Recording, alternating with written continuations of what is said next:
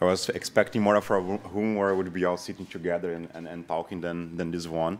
Um, I think essentially, as a plan for today, um, I think we we want to kind of like summarize a bunch of like the tests and discussions that happened uh, during the past uh, oh, few days in this conference and, and before and before this. Um, from the kernel side perspective, like we are we are pretty happy with uh, everything that uh, that that happened so far. Like we've been a few sessions and and, and, talks and hallway discussions and so on. We are seeing like a lot of the community uh, uh, talking more and more about like continuous integration on the kernel, more, more tests about like uh, how we and now, and now the problems in there, right? That um, uh, the, the, the, architecture that we have like is, is, is super complex, like from figuring out how you do your labs or your cloud infrastructure for the test into which CI systems you're, you're throwing to it, how you set up your CI systems, uh, which different tools and, and, and, and, and things and tests and test suites, etc., that we're putting together and, and how to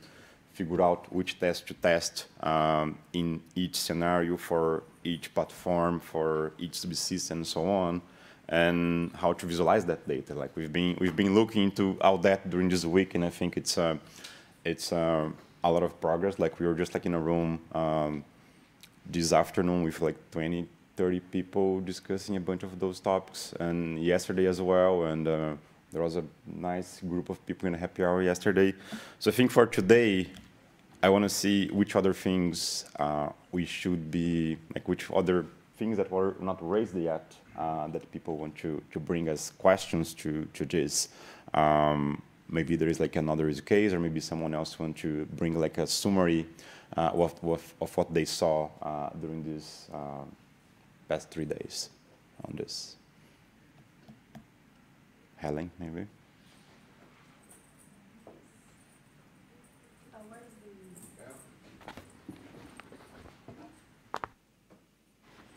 Yes. Uh, so one thing, uh, let me see. One thing that, um, so a summary would be we had lots of discussions about maintainers workflow, about different test suites and uh, how can we, as you mentioned, how can we define all the tests uh, to know when to run, how we can trust the test. But one thing that I am missing, uh, so I see several people around tests discussing. Um, but one thing that I like to see more is uh, maintainers to come to us uh, and understand how we can help you as a maintainer uh, to so, so you can rely on the tests there, which kind of tests, which kind of data you want to see.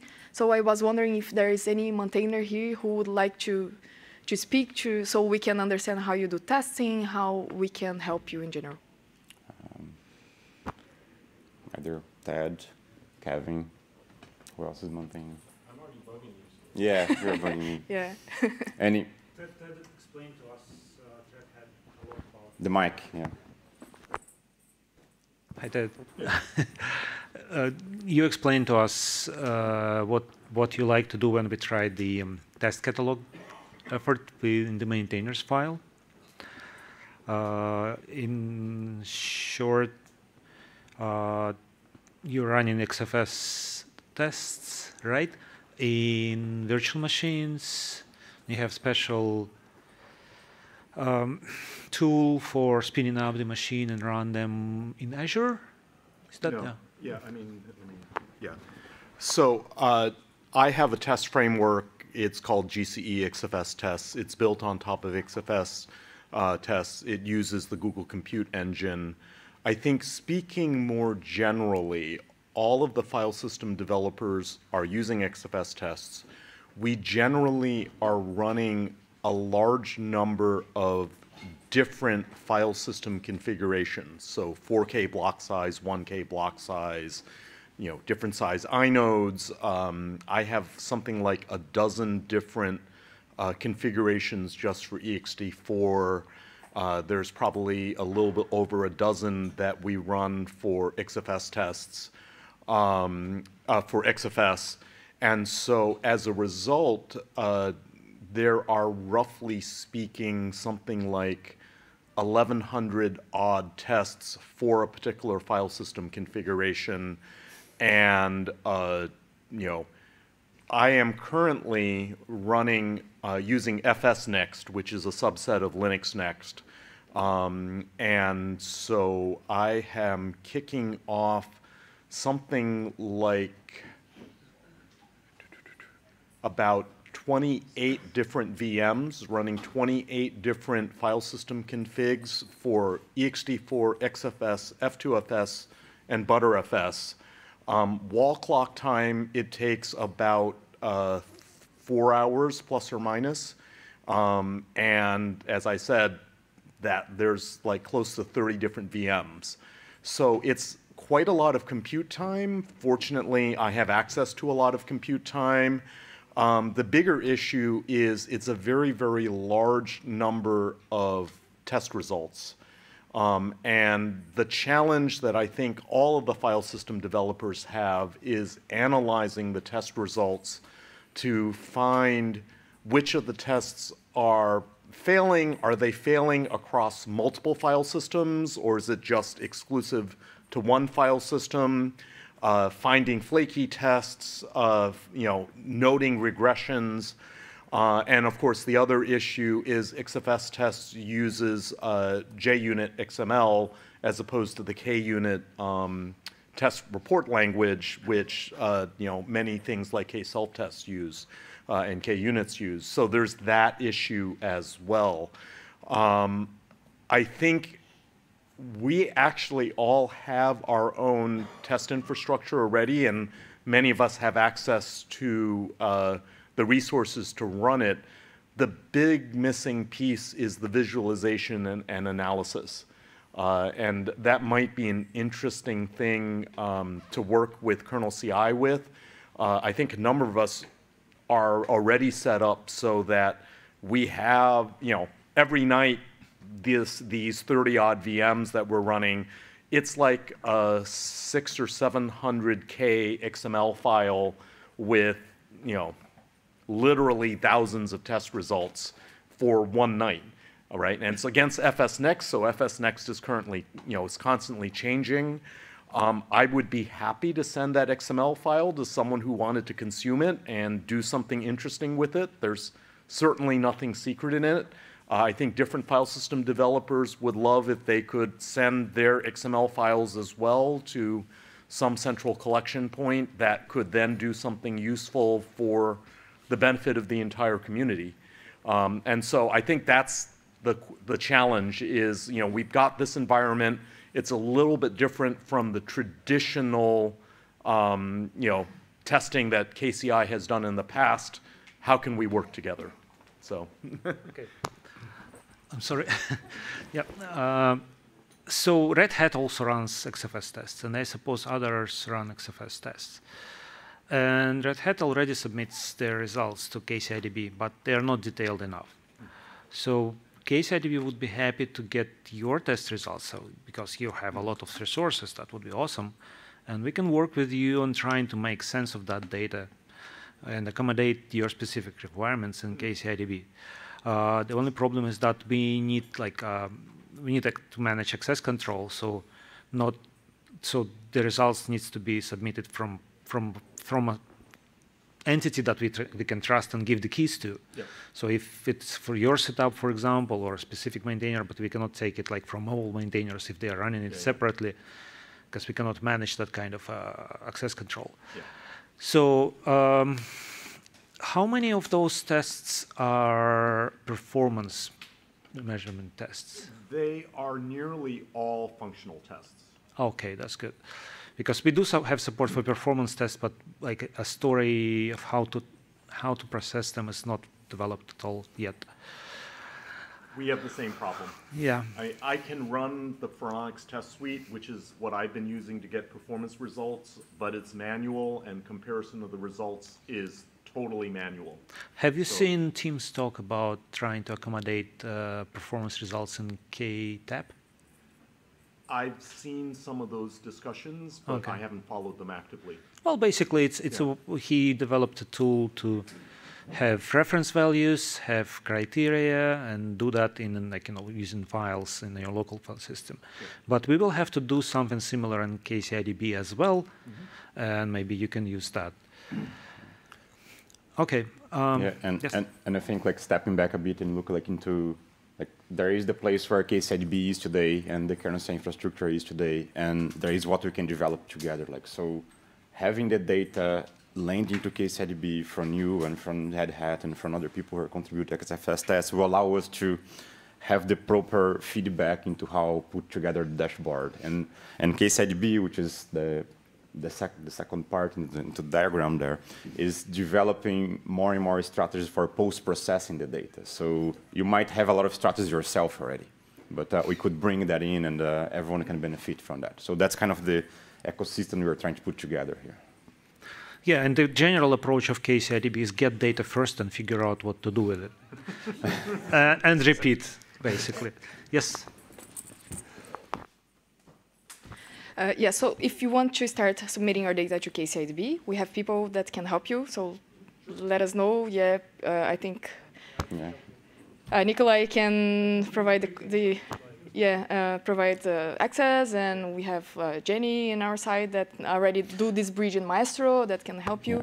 And once data is there, um, I can help you with the visualization. We can build specific boards, uh, dashboards, so uh, to help analyze this data as well. And we can also add some uh, post-processing uh, code there to figure out the issues, uh, so you can have um, extract what the data, what, what, which kind of data you need to really care about and, and go fix. Yeah. I think I think you and I discussed before that the system community was developed at JUnity uh, standard for, for the test results on the XFS tests. Because that would be easy to just like we can translate that format into the KCIDB format, which is a DB schema, and everyone could just use that. Yeah, so we've just simply been using the JUnit, that's, you know, industry standard test results, uh, because that's what XFS tests had introduced many, many, many years ago. Okay. Uh, so we've been just using that because that's what um, uh, that's what XFS test does. We have extended it, but we're using the XML style of extension uh, in terms of uh, we actually tag the results with exactly what version of FIO of XFS tests of the kernel. So we have a lot of test metadata about the test environment that we have put into the XML file, but we're using XML attributes. So we didn't really extend the test format as much as took advantage of the facilities that um, the JUnit XML standard has. I think that's actually one of those interesting limitations. I've been talking to um, some of the folks about, you know, how KTAP might be extended because it would be really, really useful if there was a way that we could do lossless interchange between the KTAP format and the JUnit um, format because right now, you know, KTAP was designed to be simple. Um, and so what you can put in KTAP is a subset of what you can put in the JUnit XML. Um, but that could be changed. And I know the KTAP people have been looking at enhancing that metadata because you want that, I suspect, for, KC, uh, for the KCIDB. Well, we have a K KTAP specialist over there. I hope I can throw this well enough. In steps, yeah. Okay. Yeah, I gave a talk on this um, earlier on wanting to create a common KTAP library, and part of that is I want to create a converter from KTAP to JUnit XML because I know XFS tests really inspired that actually.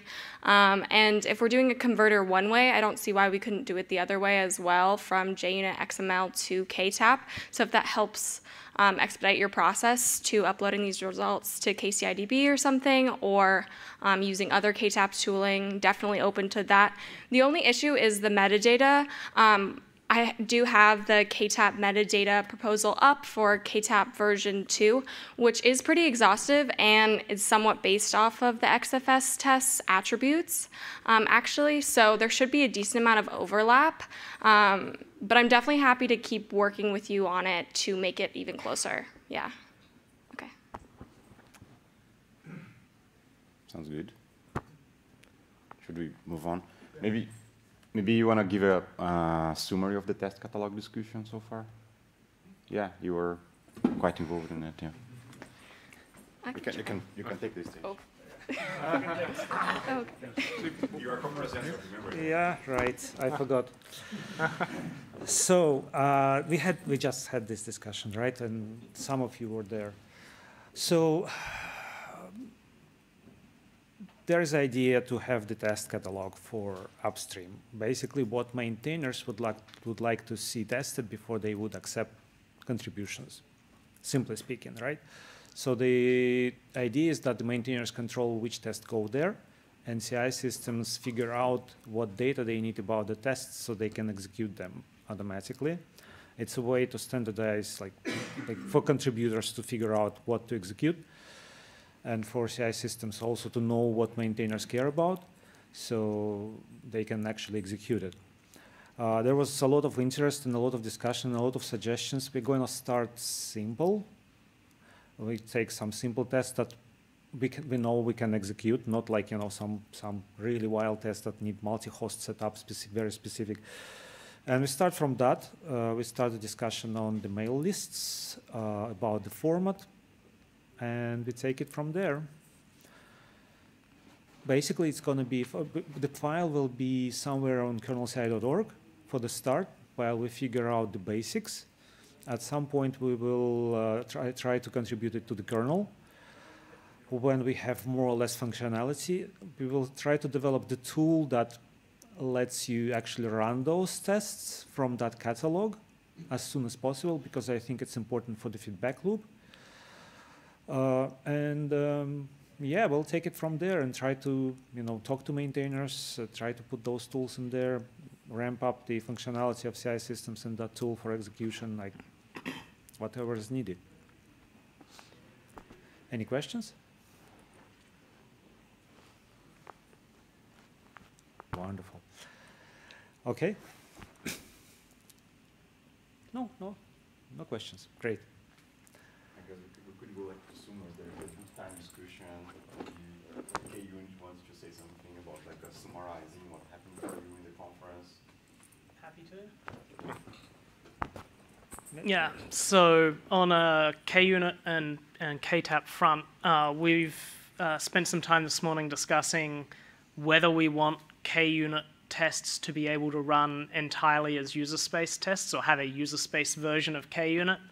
Um, I think everyone thought it was a good idea um, and that we should do the simplest possible thing, which, you know, has already been experimented with by various people of let's have a header that implements, you know, the basic KUnit um, macros, assertions, etc., so that if you have something that's sufficiently self-contained, um, you can not only build it as an in-kernel test, but you can also build it as a standalone binary and uh, then be able to, you know, send that to the compiler vendor as a repro test case or not have to build the entire kernel to test your change. Um, while you're developing it. Um, there are some interesting uh, comments around uh, particularly tests involving lots of threads. KUnit's not great at those in the kernel. Uh, there are ways around that um, in user space for people who want to do user space only tests. Uh, this might also be useful for um, tools in the uh, the testing in the, the kernel tree like perf, uh, potentially some of the build tools we'll see. Uh, seems like a great idea. Everyone likes it, so we'll uh, see where that goes. Um, yeah. To be honest, I was thinking, I, I thought that KUnit already does that. It sort of does through user mode Linux, but user mode Linux, in, for all of the problems it solves, it introduces a corresponding one. So um, it's great to uh, have multiple ways of attacking this problem with different sets of trade-offs. Cool. Thank you.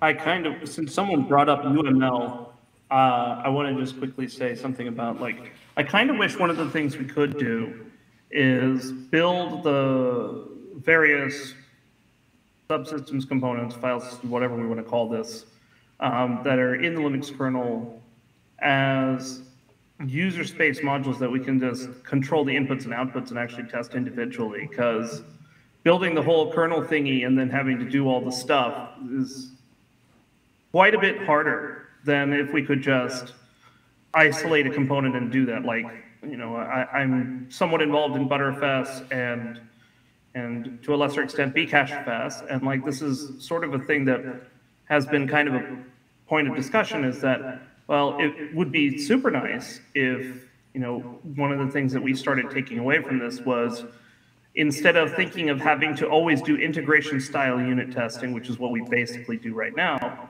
is start looking at whether we can start isolating these pieces and being able to build them in alone to be able to test them in isolation because that makes it much easier to determine where the boundary of faults are when trying to fix bugs or deal with um, progressions and things of that nature because you can figure out where the boundary is for what causes a regression or what's what's created a problem or what the interface um, impedance mismatch has created an issue from. Um, like a few years ago, I had seen something called LKL or the Linux Kernel Library Project.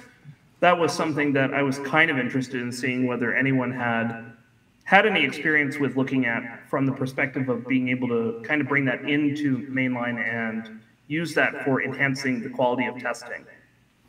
So uh, I was going to, to mention LKL. Uh, it's something certainly that uh, we've looked at. It is, at the moment, basically just UML. So, um, you know, you, you, don't actually split the, the subsystems off totally.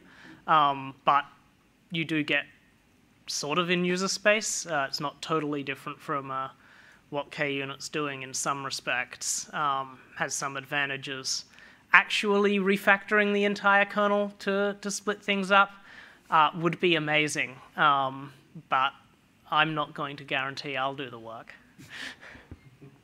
Yeah, I, am not saying it, I'm not saying that you would or, or anyone else would, but like I feel like one of the things that kind of inhibits that natural progression for doing it, either from contributors or maintainers or whatever, is the fact that we just don't have an apparatus in the first place that kind of encourages people to do that.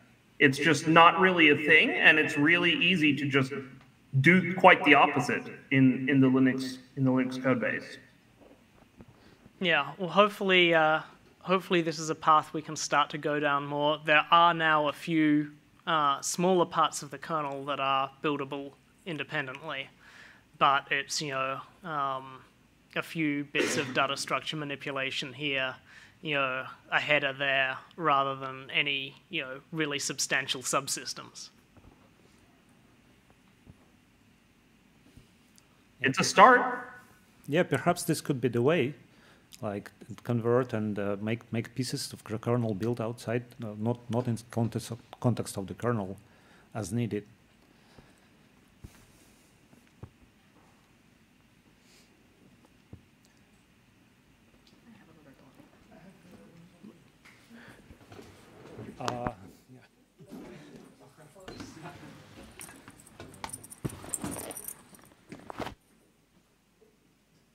Hello. I just want to share that um, for the Rust block layer uh, bindings, we have also built a CI, yet another one. Um, uh, we had the uh, requirement that we wanted to. So this is not a. Uh, this is not as much a um, unit testing CI as it is a performance testing CI to um, test uh, performance regressions. And we wanted these tests to run on bare metal in a little cluster we have uh, somewhere. And for that, we, we have built a thing. It uses uh, Nix to, if you have a number of uh, hardware nodes that you want to bring up, into a certain state without having them stateful. So like without having a distro or like something on them. There's, there, we have uh, some tools that can, uh, via iPXE, bring the nodes up, run your tests, deliver the test output back to some place it can be collected. And um, we have a little, uh, like a resource queue manager to do that. It's all like very bespoke and built for us. But if anyone is interested in that or have a similar um, use case, we can come talk to me and then we can share it and make it open source. And yeah. Yeah, the part about Nix is interesting. The cool thing is it, it allows you to have your workers completely stateless. The only thing, the only state on them is the iPXE bootloader, which you can provide via USB stick or put it like on the um, ROM of your net card, network card or something. And then um, what you do is you write a Nix expression, and the system will um, bring that node up into the uh, configuration described by that expression, which is really cool. Yeah, yeah if you, I'm here, so if you want any details, you can just. Yes, thank you. Helen, you had something?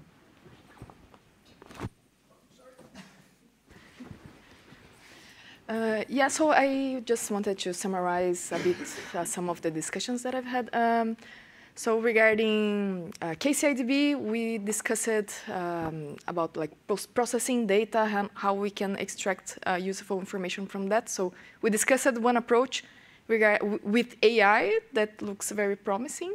Um, let's see how it goes. Uh, uh, so in also regarding other CI systems, so I had discussions about media CI and DRM CI. Uh, everyone is doing their own CI, but we are trying to converge and, and reuse things. Uh, so uh, the free desktop maintainers came and uh, showed their concerns about overloading their infrastructure. So that was an interesting discussion as well. Um, what else that I can say? Uh, we also had interesting discussions regarding uh, how we can manage uh, access, um, at which point. So everyone should be able to run their CI, like pre-merge in any patch, or would these overload the system and also cause a security issue because we would allow uh, anyone to execute anything. Uh, another, so this is one model. Another model is like post-merge tests, or another model is something in between, like post-review uh, tests. So there are different kind of models, and uh, we need to figure out um, how to manage. Uh, and another interesting discussion was, um, so someone raised that it would be interesting the possibility to have access, direct access to a remote board uh, to bug that you don't own this board, and, but this is also complicated. Uh, so maybe this could be some arrangement between like the, the, the maintainer and the lab. Um, so yeah, just uh, wanted to share a few discussions uh, that I had that were interesting. Yes, thank you. Yes, th th those those were interesting. And the, another part was that um, the job of kernel CI could be arbitrating those contacts between the maintainers of the labs and the maintainers of the kernel and act as like a, as, as, as a communication hub for them to figure out what they need, what they want. And the point was also that both sides should have control over what is running where. So the uh, lab owners should have control which tests they want to run, which architectures, whatever, what, what they would prefer on their lab, and the maintainers should have control where the tests that they care about should run. So like if they don't care about particular board, they, sh they should be able to exclude it from the pool that, that they receive results from because it, they don't want to care about it. They have no capacity. So it's, it's just a sort of like a, like a market of hardware being kernel CI. And the point of the access control and the uh, abuse of CI resources is, is an eternal one. It's, everybody is struggling with it, yes, and there, there was the discussion with the typical arguments that what if somebody mines bitcoins, which happens, what if somebody, uh, you know, just accidentally breaks something or whatever. So yes, the, there are multiple ways to deal with that, and I think that ultimately each team will, like, will have to figure it out according to the way they like to work some people might want to know, never run CI before the review. Some people might allow some minimal tests in a secure environment mm, to run like for everybody so they get immediate value, immediate feedback faster. So yeah, but it's, a, it's an eternal problem. Another perspective into this is that um, kernel CI beyond being like a, um, a, project, open source project, like with infrastructure and so on, it's also a legal entity under the, Linux Foundation. So we can take responsibility for the resources that people want to share with kernel developers. We can mediate uh, a bunch of that. So maintainers can benefit from that service on kernel CI as well. Like, oh, I need access to certain cer to certain amount of like uh, cloud resources or certain boards and so on. We can figure out ways to make that happen. Not not all the times we will succeed, but uh, the, the the entity is there to also work on those like more uh, boring stuff. Yeah, and sometimes figure be flexible and figure out what we can do, and I think that's gonna you know we, we might not think about something supporting some use case, but we are there to make it happen somehow for you.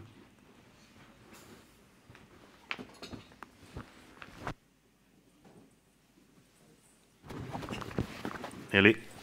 All right.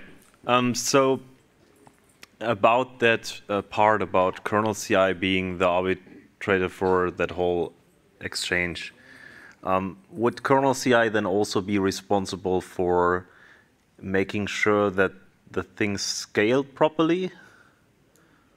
To the amount of our financing. Join the foundation. I, think I'm. I already am, as I am at Collabora. But uh, yeah, so. but uh, like I, I, I, think that's just an interesting problem. Like uh, when when the usage on a CI system like rises, like how do you handle that? Because like I mean, in some cases it's even impossible. If you have a device which is basically out of the market, you can't just get more of that. And so then you have to basically make sure that you share the device properly. Yeah, you and can probably try eBay uh, yeah, if it's still available. But I, I, think you get the point. Like, I, I, I feel like um, scaling these uh, like labs properly and making sure that you share them in the right amount is, is pretty hard. And uh, and I just wanted to know whether kernel CI uh, like wants to take care of that or not. That's that's our function. Yes, we have some resources. We should be responsible and you know make sure that people who need support, who need that you know, we, that we share them fairly and arbitrate all the discussions like why am I get why I'm not getting those resources and that guy gets those resources. So yeah. And there's a way that we can kind of filter how much workload we send to the labs, um, moving things even further left, like having people, contributors running the CI basically on their machines. I was talking to Guillaume earlier, and like he has an idea of using hooks uh, which might be a way to like when you're pushing your things, you can run a basic uh, CI on your machine using virtualization maybe, because there's a lot of the kernel that you can probably test just using virtualized stuff, which clearly doesn't require labs. And then we can be sure that we only send to labs things that are almost pristine, and well, that might be a way to, to save resources a way to further improve the situation will be if vendors will just make uh, open simulators for things. That will solve the entire problem. And in that sense, uh, when I worked on hardware, which was very lightweight, let's say, uh, I started from the the spec and the simulator, and then went to develop the, the other things. So I don't understand why they don't make that first and make it available before the hardware.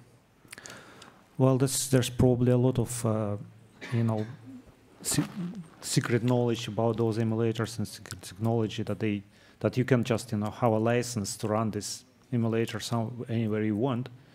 But what kind of performance were you getting out of those simulators? Uh, in my case, it didn't matter much because it was about compliance.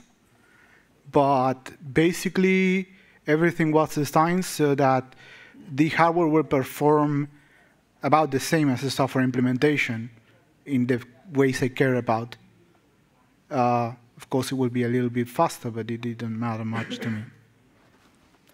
Well, this this could be something to explore and uh, ask some vendors, like whether they provide something like that or encourage them to do that. but but like just for me to understand that, that does that really solve the problem? Because like the problem I see, for example, now is you have a specific load of tests that you want to run on a specific hardware. If you want to do that now on like open simulators, doesn't it make the problem harder because like an open simulator is probably a lot more expensive than having like a specific board, and so don't you need then for like testing more loads, more open simulators, or do I get the problem incorrectly?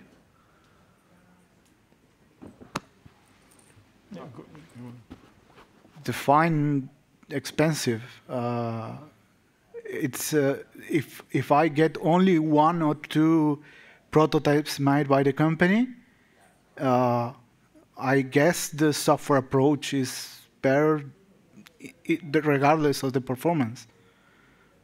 Uh, I, I, can just make thousands of them with common hardware. And it may run slower, but as long as the timing constraints are the same and uh, the stuff I'm testing is within that. And the, the, the real problem is, does my hardware comply with my spec and does the software respect the spec? That's what I care about. And the rest doesn't really matter. You can just not simulate the actually functional part uh, until you need to test them. So if you are testing only if the hardware initializes correctly, and that's all that matters for that test, you don't run the rest. So, so I think one, one of the issues is proving that the simulator is actually modeled exactly the way your uh, platforms are. And, and it has been a complicated issue, right? How, how much you can rely on your test result, let's say it's passing or failing, you know, how much you can claim that in real life it's actually passing and claiming or failing, right? And so at, in our experience, that, that was one issue that to look at, right? How do you qualify the simulator enough uh, to be able to say, well, now you know people take it and run it, and you can rely it just like you were running on the real hardware. Uh, in in my case, uh, the simulator was the reference, so it didn't matter. But if you had the opposite uh, approach, uh, you can just add the bugs to. I mean, if they are hardware bugs, you add the bugs to the simulator one by one. I mean, that, that's the only, only way forward. Sure. Yeah. Yeah, so th this, uh, just, Dmitry, just a moment. So, yeah, the simulators are simulators for a reason, right? They, are, they don't match the hardware necessarily exactly, or, you know, they cost a lot or whatever. But for certain loads, on certain tests, they could be useful.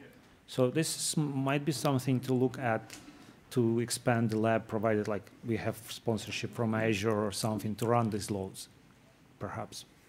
Yeah, I have big plus one for this idea of right providing simulators.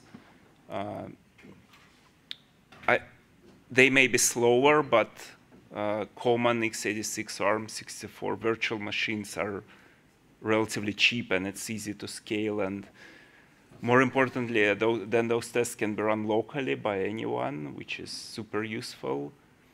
Uh, this will also allow to say run fuzzing on that hardware effectively.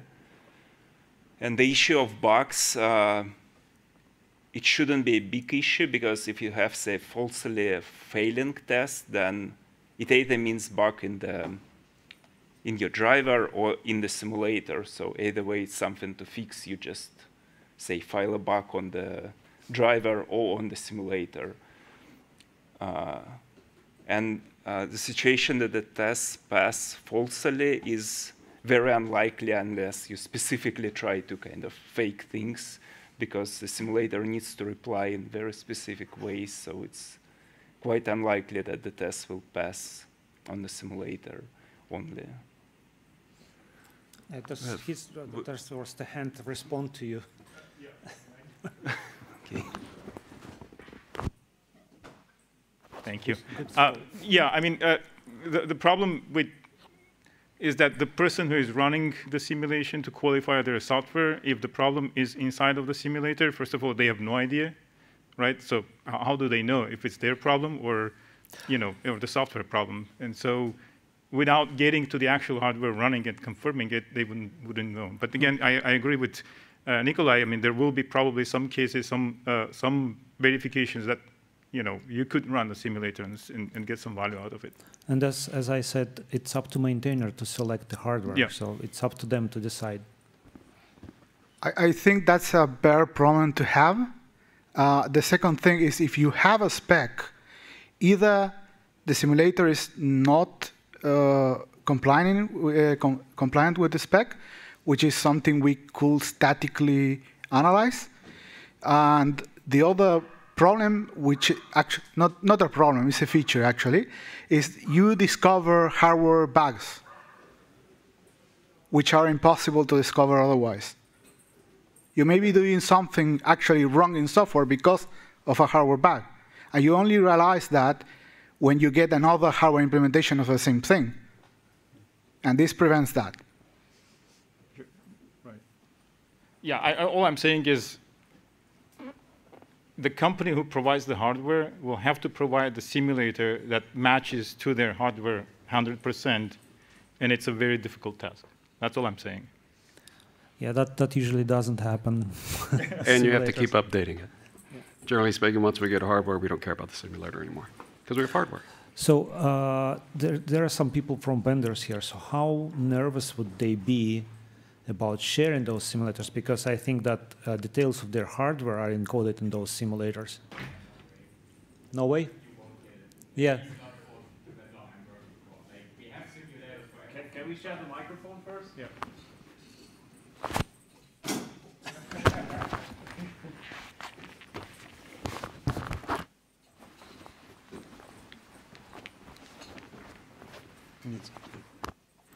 I mean, we do certainly have simulators for the hardware we build. I mean, that's like, especially if you want to build firmware before the hard, before the hardware is really ready, you need that. So there is, we always have that, but I like this is well, this is my personal opinion, but I don't see the company sharing those simulators ever with anybody else. This is just the IP like this is just an IP question, so it's it's that's a very difficult discussion, I think.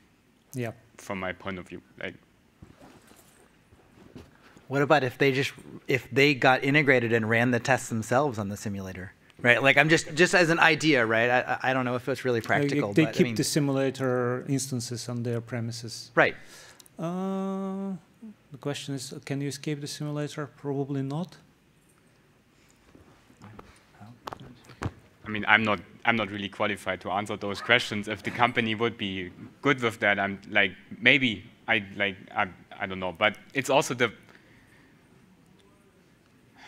I mean, simulation is also very slow to some degree. Like we, are talking magnitudes, like in some cases, yeah, slower than emulation. Like it's really slow in some cases. So I'm not I'm not sure if they're willing to share the limited, like we only have a, a, a limited amount of time on those simulators for our own stuff. So it's yep. it's going to be a hard discussion sharing that time with somebody else running on our simulators. So, so there's different yeah. kinds of simulators. Some of them can run on regular desktop machines, but they are very slow. And yeah. that goes up like closer to the hardware, up to FPGA, which are fast, but very limited in availability. And then um, regarding the security, Red Hat gets vendor hardware which they don't want us to talk about it, that it even exists. So like how the vendors would be comfortable with sharing it with the entire world that, that it, it's running, it's available in the kernel CI, even before they have that hardware. So that that's even like that's even like yeah. I mean like at all, it would only be possible after the hardware is available, and like the other way around. And it's, and it's, it's been not, it's been properly yeah. through the PR machine and yeah, everything. I mean like yeah, but like that's what that's a no go anyway. But yeah, I mean, uh, yeah. well, it's an interesting idea. Maybe somebody will be brave enough, for some open source hardware maintainers or yeah, it would be cool, definitely. I mean, yeah, maybe maybe for open source hardware that could happen. I think for these sorts of things, it's always important to think about what is the goal that's being achieved with using these simulators, right? Yeah, there are multiple different kinds of simulators. You've got the cycle accurate simulators that are ghastly slow. You've got something that's closer to QEMU. Um, and I'll note that in the early days, in general, the hardware vendor is interested in just simply getting the box running right? And so presumably the people who will have access are people who are writing the BIOS, people who are writing the device drivers to enable that hardware. They're probably under NDA and may very well be getting paid, you know, through some sort of contract with Red Hat or Collabora to do that early Linux bring up. And those people will have access and they will probably be really focused on just can I get the thing to boot? Which I suspect is a little bit too early for KCI in any case, right? And I would expect that by the time you get hardware, we can talk about whether it's DVT hardware or EVT hardware or PVT hardware, which you know will get progressively more available. At some point, um, when the hardware vendor is even willing to disclose that this sort of stuff is available, then the open source people will have access to that, right? I mean, I worked with uh, folks at IBM who were working on the Power 7 architecture before it was released. They were in the Linux Technology Center, they had early access, um, and they actually were able to do something really cool, which was on the day that the chips were announced, like the Linux kernel drivers were ready because they had early access. But, you know, I suspect that's a little bit out of scope for what we're probably going to be primarily trying to achieve with KCI. And, you know, I suspect the hardware vendors who want that, who want early Linux bring up, will be able to reach out to the companies who are doing that work. So.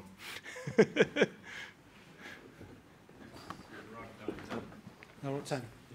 Oh. Okay, guys, uh, we run out of time. We can continue in the corridor. There's already people queuing up for the next thing. So let's get moving. Thank you. Thanks so much. Thank you.